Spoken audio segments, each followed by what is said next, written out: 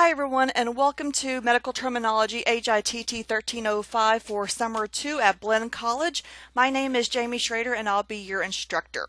So this recording is going to be an overview of just the Medical Terminology course and I do have another recording um, going over eCampus as a generic orientation as well. So again this recording is just going to go over the course specifically. So let's get started with the syllabus. I'm clicking right here on Concourse Syllabus and the syllabus will open up in a new window. Just give it a second. So meeting times. Again, we will never meet face to face. You never have to come to campus if you do not want to. But you can access this course any day of the week and any time of the day as long as you have internet access. I highly recommend you logging in and working on the course a little bit every day, even on weekends. We move very, very quickly in a summer course, and your worst enemy is going to be procrastination. Do not put it off until tomorrow because believe me, something's going to happen tomorrow and you won't be able to get your work done. So, again, try to work on this class every single day, even on the weekends. It's best to do a little bit every day than try to cram it all in one day, believe me. Contact information. Again, my name is Jamie Schrader. I am the director of the Health Information Technology program here at Blinn. My email is jamie.schrader at blinn.edu. And of course, you can always email me with an eCampus as well. Now, my office is in Brenham, but during the summer, I am not on campus. I am totally remote, so do not come to my office. Just call me or email me, and I'm sure we can figure out the issue um, very quickly. Here is my phone number. Again, I do check my voicemail every day, um, actually multiple times um, a day once the summer session begins. So again, if you have questions, please do not hesitate to email me or call me. I will respond very, very quickly.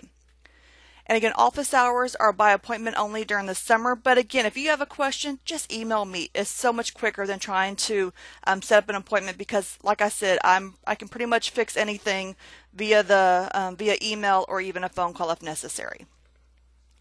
The description of the course. This is a study of medical terms through word, origin, and structure, introduction to abbreviations and symbols, surgical and diagnostic procedures, and medical specialties. There are no pre or co-reqs for this course. Now, if you are an HITT major, which you would know if you are, um, you must make a grade of 70% or better to complete the course. This is not a core curriculum course.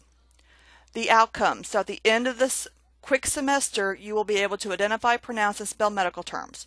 Use terms in context. Utilize prefixes, suffixes, word roots, I'm sorry, root words and plurals to construct medical terms, analyze medical terms, translate abbreviations, and interpret symbols.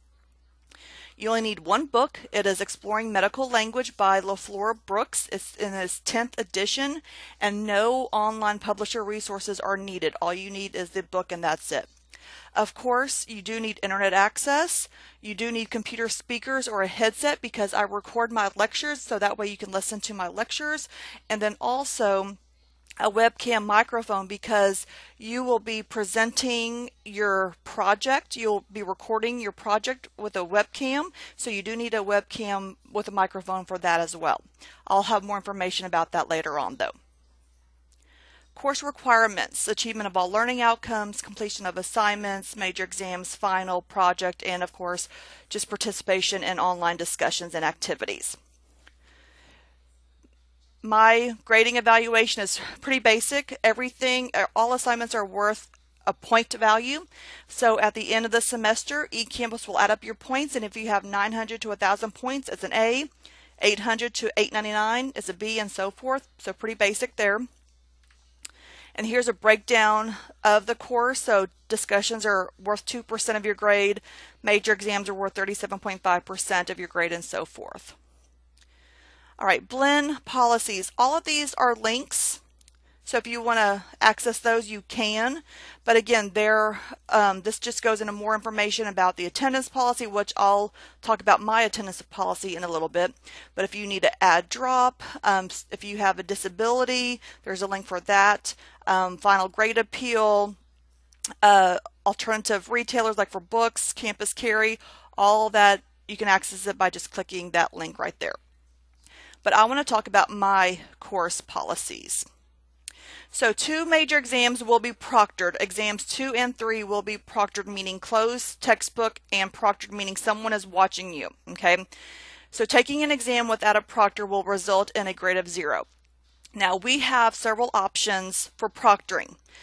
One option is coming to one of the Blinn campuses to the testing centers and going there and having the testing center proctor you, meaning they will access the exam for you. You'll take the exam there in their room to make sure you're not accessing any um, websites or your book, things like that. Another option is by using Tegrity. Tegrity is a software that records your desktop and also your surroundings using a webcam. And I have more information about this as well. Both of these options are free, so please take advantage of them. Again, if you're 30 minutes away from a campus and you don't feel like driving to a campus, then you can take it via Tegrity. And again, I have more information um, later on about that. If you are in the military, please let me know that first thing, okay? But if you are in the military and you're in a remote location, I can get with your commanding officer to arrange to proctor the exam there. Now, if for some reason you just want to pay to have someone proctor your exam for you, there are some options, but I'm hoping everyone will just take advantage of the free options for proctoring. But if you feel like you need to pay to have a proctor, please let me know. So here's just a little bit more information about Tegrity and the testing centers. All right, the attendance policy. At Blinn, we are required to take attendance on all students. So if you miss one week's worth of assignments, you'll be given one absence. When you miss two weeks worth of assignments, you'll be given two absences and drop from the course. So for the summer semester, one week is the equivalent of three days. So if you miss three days of assignments, you get one absence. Once you miss three more days of assignments, then you'll be dropped from the course. Because this class moves so fast, you have to stay on top of your work, okay? Completing late work does not make up for current assignments and students will be will still be counted absent if current work is not submitted. So I do have a late work policy which I'll talk about in a second, but again you have to submit current work for you to be counted present. So there are only four excused absences for Blinn religious holidays, representing Blinn, if you're dual credit, which won't apply in the summertime, and military service. So I'm not heartless, but again, sickness, death of a family member or friend, work issues, failed technology, loss of electricity, none of those are excused absences. I give you plenty of time to get your work done. Like I said, don't procrastinate because it's going to hurt you in the long run, okay? I am not heartless. I've been in your shoes before, but I, since I do have a late work policy, that's why I don't want to have to decide if John Doe's excuse is better than Jill Doe's excuse for why they missed something. So I just don't worry about excuses. I have a late work policy and I just go by that, okay? So my late work policy. Everything is due according to the schedule, which we'll talk about in a second.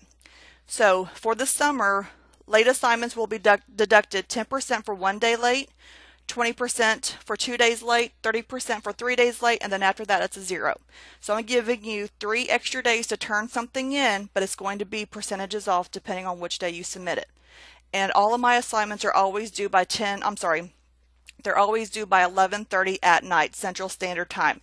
If you are not in Central Standard Time, make sure you figure out what the correct time is then where you were at.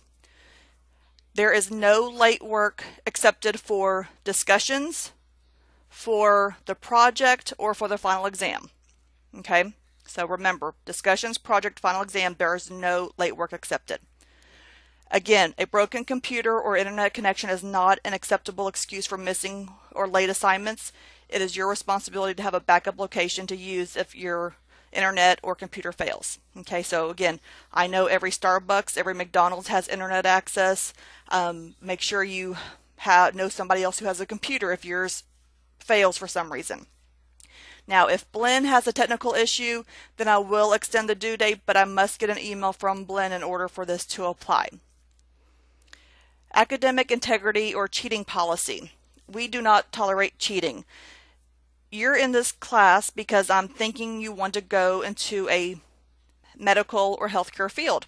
if you don't if you don't know medical terminology, you're not going to be successful in, in, in any of your other courses. So don't cheat in this class. This is actually a pretty fun class. Um, so do yourself a favor and actually learn the material and not cheat, okay? But if you are caught cheating, both you and the person allowing you to cheat will be penalized. You will both get a zero for that assignment, and depending on the assignment, you could actually fail the course. So do not cheat. So again, minor assignments may be discussed together as a group, but your submission must be individualized. No group work on major exams or projects. Answers from Quizlet, if you find answer key somehow, internet searches, they're not accepted. You have to come up with your own answers, okay? But if you take them from the book, I'm good with that, okay? And I'll talk about that in a second. And then cite your sources when applicable.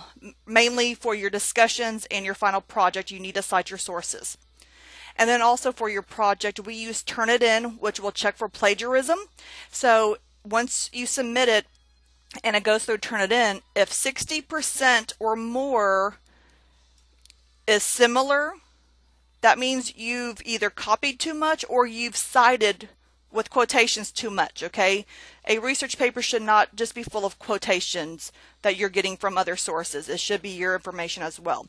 So again, 60% or more of similarity check will not be graded and you will receive a zero on that assignment as well. Again, I'll have more information about the project later on. Communication. I cannot stress enough how important communication is in an online class. I have no idea if you're having issues, if you're not understanding something, if you have your hand raised, if you have the deer in the headlight look, I don't know. You have to take the initiative and ask questions. I consider myself a very helpful person, so please do not be scared to ask questions. I am here to help you. I want you to succeed in this course. So I will communicate within the course by the news feature, discussion boards, and email. Now remember, you also have a Blinn email account that you were given when you first registered with Blinn. I will not use that email once the semester begins, but other departments might, such as financial aid or the registrar. Those departments will use that email address. So make sure you're checking that email address or have that email address, oh, I'm sorry, have your emails forwarded to your Yahoo or Gmail account then.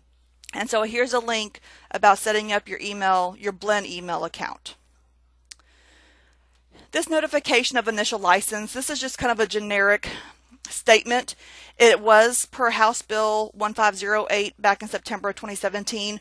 Basically, this just means is if you were ever convicted of a criminal act such as a felony and you have to get a license to practice in your field, such as a nurse or a dental hygienist, things like that, there's a very good chance that you will not be able to get that license if you do have a criminal offense. So just check with the program director that you are trying to get into if you do have a criminal past. Okay.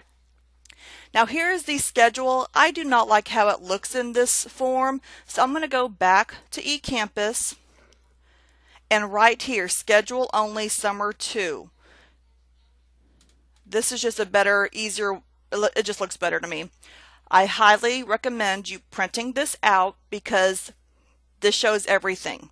It shows the day that we're going to get started, all the assignments that we're going to do, how much the points are worth for each exercise, the due date and then the weekly online hours. And, and I apologize that should be daily online hours for a summer class not weekly and I apologize for that. So you can see day one we're doing a lot. We're becoming familiar with eCampus. You're going to read watch the orientation and complete the orientation activities. And then we're jumping right into chapter one. So you can read the chapter and there's not a lot of reading in this book so I just put read the chapter, but again, it's not a lot of reading. But please, um, if you want to watch my recordings, please do so. So every chapter, I have semi-short recordings over each objective. Okay, I've, I try to make them bear bearable because I know no one wants to listen to me pronounce um, medical terms all day long. So every chapter, once you get into eCampus, will have about five to six recordings over each chapter. Then you can complete the chapters I'm sorry, complete the exercises within each chapter, and the answers are in Appendix A of your textbook. So again, the exercises are just a great way to reinforce what you're learning. And as you can see, it's worth zero points. But again, practice, practice, practice in this class is going to be to make you will make you successful. Then I have a practice quiz in eCampus. Again, it's worth zero points, but again, the more you can practice, the better. Then there is a chapter one quiz and a chapter one review, each worth five points, and then a symbol quiz, also worth five points. Then we'll start with chapter two right away. Same thing. Read the chapter, watch my recordings, complete the exercises within the textbook for just practice, another practice assignment, and then the quiz and review. And so you can see those are each worth five points. All of this is due by Monday, July the 9th. Okay. If you get done with this by Friday, then start chapter three. I, I, my plan is to always have at least three or four chapters open at a time because I know some of you will want to try to work ahead, which is perfectly fine with me. And if for some reason you're done with chapter three and you want to go to exam one and it's not there, just let me know and I'll open it for you. Okay, I have no problem letting students work ahead. So as you can see, I've pretty much made a very detailed schedule of what we're doing every single day like I said, print this out. That way you can stay on top of all your assignments, okay? Again, several pages long just because it's a lot of work to do every day. Um, let me go back up here. I apologize. Like here you see the two asterisks by discussion one. So all that means is for discussions. With every major exam, you'll have a discussion and you have to post twice. You'll post your initial post and then a reply, and both are due by the exam due date, okay? And again, discussions are not extended. And then again, you can always work ahead of time or submit assignments ahead of time. But uh, remember my late work policy though, and then assignments are due by 11:30 Central Standard Time. So I'm going to close that and then I'm going to go to content. This is where everything is found is the content tab. Now right now I'm in the student view, okay? And this is what you your screen will look like when you first enter content. There's not much here, okay? Yet. So first of all, go to orientation, start here, and there are 13 submodules. Please read all of these. Again, if you just click on welcome, it's right here, but if you click on welcome, it will just um, make just that one module appear. Read that, then go to orientation videos, which you've already been here because you're listening to this one right here. And then go to meet your instructor. Then the syllabus. Again, the syllabus can be found in many locations. This is these, these are the same links that are on the home page. Once you complete all 13 of those, then go to orientation assignments. There are six assignments that you must complete in order for chapter 1 to appear. Right now, only the first orientation assignment is here, email instructor, okay? Once you email myself through eCampus and also once you click on this link right here for email instructor, you'll have to select the task one to complete this checklist item. Once you do that, then the orientation quiz will appear down here. Once you make a 100 on the orientation quiz, and you can retake it as many times as you need to, once you make a 100 on the orientation quiz, then the introduction of yourself discussion will appear down here. Once you post that, then you'll need to upload a sample schedule. I want you to be aware of your work schedule, of your family responsibilities, of your responsibilities for this class. So I want you to come up with a weekly schedule of when you're going to work on this class, okay? It doesn't have to be anything fancy. I just, basically, I really just want to make sure you know how to submit a Dropbox, okay? Once you do that, then you'll take the little proctoring information survey or quiz. It's not for a grade. Um, I just want to make, I just want to see where you plan on taking your exams two and three out, okay? Once you do that, then questions, concerns, discussion will pop up. All I want you to do is just post. I, I know where to post questions if I have any. Once you post that, then chapter one will open. As you can see, chapter one is not listed here, but it will appear once your questions, concerns discussion post is done. So like I said, each of these will pop up after you complete the previous one. And then after you do all six of them, then chapter one will appear. Here are appendices that are not included in your textbook. So I've added these all here. You can print them out if you want to or save them. Here's some learning resources. I created this course for summer one and now I'm teaching it summer two. Summer one was taught by somebody else and we've we found some issues that were corrected in her class and I just want to make sure everyone's understanding them for this class. When you're submitting your homework, some homework has is fill in the blank. So when a question asks for a suffix, which is going to be symbolized by just the letter S, you'll need to put a hyphen in front of the word part, such as ear hyphen IOR. When a question asks for a prefix, you'll need to put a hyphen behind the word part, such as uni, U-N-I hyphen. When it asks for a combining form, you'll need to put a slash, such as C-A-U-D slash O. The answers are going to be exactly how the book has them. Now, in order for you to receive credit on your responses, your spelling must be accurate. That's one of our objectives in this course is spelling. So if you misspell a word, then your answer is incorrect. So please pay special attention to spelling. And then here are just some other resources that you can use. Medline Plus is a government search tool. It has videos, articles, research tools about all different types of diseases and procedures. Here's an audio glossary, both in English and Spanish. Here's another audio dictionary, very similar to these two. Flashcards if you want to practice. Practice quizzes just for more practice. And then here are some career videos. There's career videos videos on pretty much all health healthcare um, careers out there. So again, I I'm my goal was to provide as much material for you to use in order to be successful. And then here again are just the student learning outcomes that we went over at the very beginning. Now, just to show you what we're going to be doing, I'm going to change this to my view. It should just take a second. And I'm going to go to content. And so, as you can see, here are all the chapters. Okay? But they're all hidden from you right now. Okay? I'm going to go to chapter 1 and just show you what it's going to look like. So here are basically what you're going to learn in this chapter, what you're going to complete, and the materials to use. So in every chapter, it looks very similar. I have PowerPoint slides. Then uh, in this case, I have three recordings for chapter one. Here's chapter one practice. Again, this is just for practice, no grade. You will have unlimited number of attempts. Assignment will never close. There will be 10 questions per attempt. So if you're studying for exam one, you can do these practices over and over again, okay? Now, chapter one quiz. Complete the 10 questions. It's not timed. You have one attempt, but read the question carefully before answering. Okay?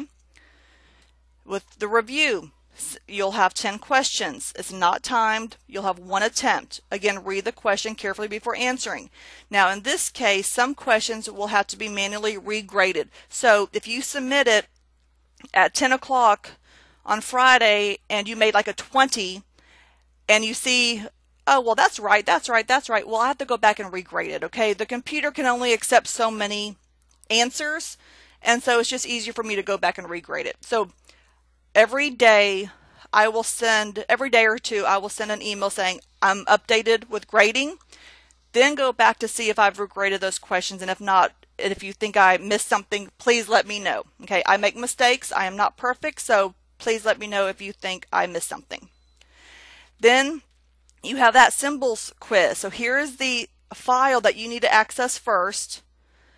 And then here is the actual symbols quiz. And so there's 10 questions and your answers are going to, once you open this, your answers are typed here. And then here's just a little, um, what they call medical millionaire game, like who wants to be a millionaire. Same concept. I've included that in every single chapter as well. So this is just for chapter one though. I'm going to skip down to, I'm just going to pick chapter seven and show you the similarities and differences. So again, here's what you're going to learn, what you're going to complete, materials to use. Here are your slides again. Here are my recordings again, the practice, the quiz, the review. Now starting with chapter four, I believe, we start spelling and pronouncing terms, okay? So you see here spelling terms. You will correctly spell the 10 terms from chapter 7. So basically, once you open this, you'll click the play button and I've recorded, and it's not actually my voice, but I've recorded 10 medical terms from each chapter specifically.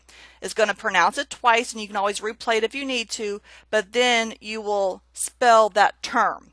Once you save that question, you cannot go back to that previous question, okay?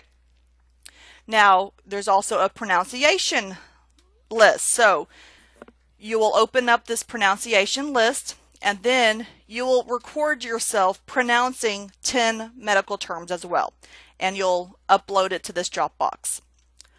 Also starting with I believe chapter 4 we have case studies. Here's a case study file. It's a scenario, you know, a medical scenario, and then you're answering five questions about that case study. And again, I do have to regrade some of those questions manually. And then here's that medical millionaire game for chapter 7. Now it's also a tournament of terminology game and an A and P booster. So these are um, all three of these included starting with chapter 4 and, and going on through chapter 16. I know this recording was long. I apologize. I just want to show you how many resources there are for you to be successful. But again, you have to use them. I cannot make you do these practice assignments because I know they're worth nothing, but I know they are worth they're priceless basically because I'm trying to help you be successful on your exams. Again, if you have any questions, please let me know. I am here to help. Email is by far the best way to get in touch with me. Um, but again, I'm here for you to be successful. Have a great summer.